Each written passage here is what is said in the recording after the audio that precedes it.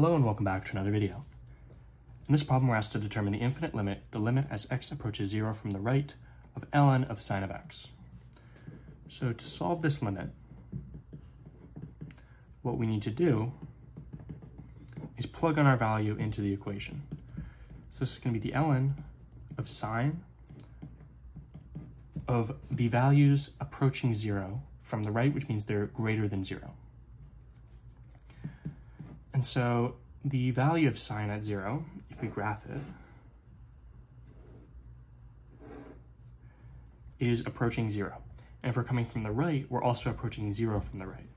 So this is the ln of zero from the right.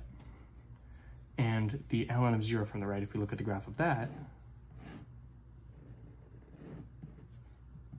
it goes off to negative infinity as we approach zero from the right. Therefore, the limit is equal to negative infinity.